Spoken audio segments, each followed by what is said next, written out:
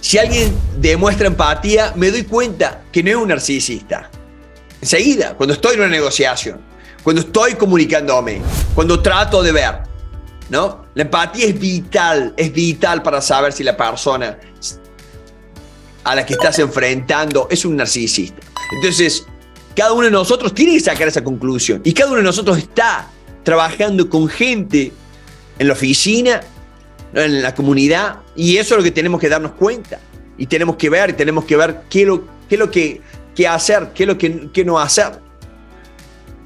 Por eso creo que, que entender esto y ver nosotros, cómo nosotros podemos trabajar en esto es una de las unas cosas más importantes que nos pasa. Vos fíjate, ¿no es cierto? La arrogancia.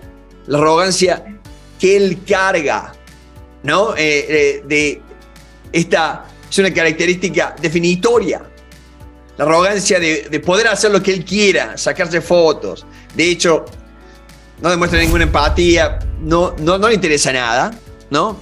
Y la empatía este, es, es, es, clave acá. Vos ves la arrogancia, esa, esa simplemente, no es cierto, soy mejor que tú.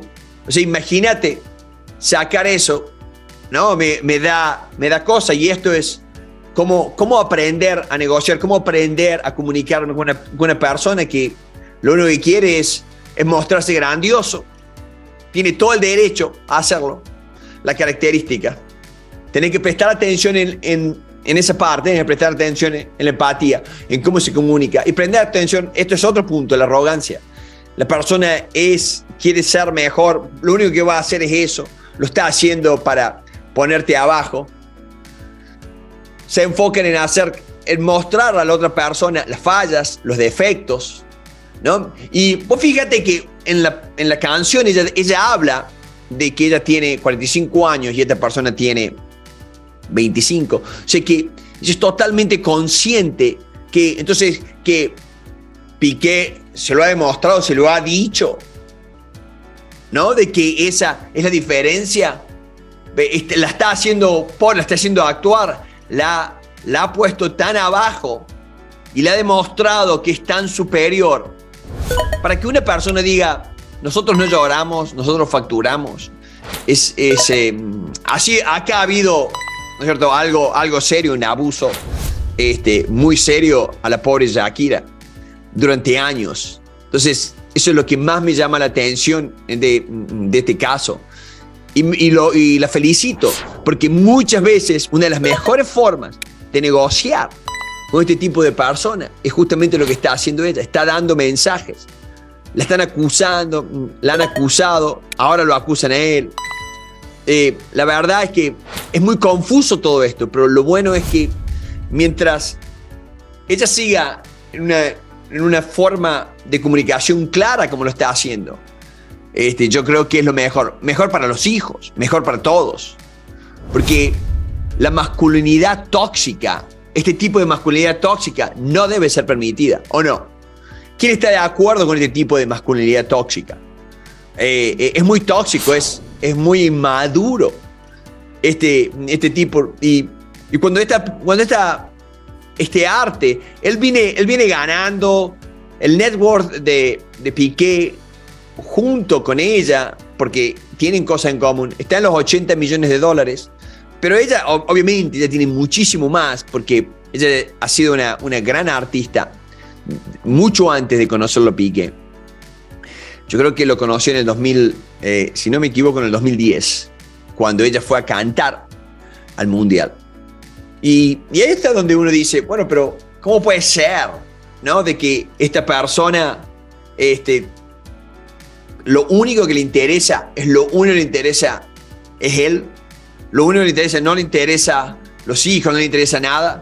O sea, a mí me pone triste porque fue un problema para el Barça. En el Barça, claro, yo digo, ¿no? Yo, yo pienso, cuando él, él se creía, él se creía un, un superpoderoso, pero cuando el Barça lo tenía a Messi, lo tenía al, uruguayo, ¿no? Lo tenía a Neymar, lo tenía Javier, lo tenía Iniesta. Tenía un montón de jugadores que no permitían que la pelota baje. Entonces, eso hacía que vos seas tan bueno, eh, Piqué. Eso hacía que vos seas tan bueno. Pero nunca nos dimos cuenta el tipo de persona y lo que estabas haciendo. Y lo que sí nos dimos cuenta después, que cuando Messi, cuando el Barça se equivoca con Messi, y, Messi se, se merece un mejor sueldo, porque Messi le hizo ganar años y años y años, cosa que vos no hiciste. Aunque vos te creas que vos sos la figura, pero no lo has hecho. ¿No? Eh, Pique. y que a Messi lo traiciones. Traiciones a todos nosotros, todos los amantes del Barça. Nos traiciones. Eh, dejes que Messi se vaya a, a, Francia. ¿no? Y que cuando todos querían hablar, oigan, no, a mí nadie me toca el salario. ¿Y qué pasó? ¿Qué pasó con... ¿Te fuiste? No, no te fuiste. No te jubilaste. Te jubilaron. Este, por la misma razón que te está jubilando Shakira. Y por la misma razón que estás ofendiendo a un montón de hombres. Pues yo soy hombre. Y ¿sabes qué? Me pone mal que un hombre le haga eso a una mujer. Cualquier mujer, sea famosa o no sea famosa. Está mal. Mi madre es mujer, mi hermana es mujer, mi señora es mujer. Entonces, ¿hasta cuándo vamos a tener esa masculinidad tóxica? ¿No? Esa masculinidad de que, de que se le puede gritar a una mujer, se le puede hacer esto, yo puedo salir con otro. Yo, ah, para mí es increíble, pero dentro de tu equipo de, de famosos hay uno, hay uno de España que dice, no, no voy a ir a, Qatar. No, porque esto, porque lo otro. Bueno, ¿sabes qué? Por lo menos Qatar tienen una cultura diferente. Pero ustedes tienen una masculinidad tóxica en ese programa de, esa nueva liga que están haciendo, que da lástima. Hasta la FIFA le ha dicho eso no es fútbol, ¿qué es esto? Y ustedes se creen que por lo único que tengan, porque tengan seguidores, pueden venir y hacer ridículo a la vida de una mujer, a la vida de dos chicos. Y los usan los chicos para fomentar, porque cuando, cuando se ven eso es, es una cuestión de que estamos viendo los hijos de Shakira.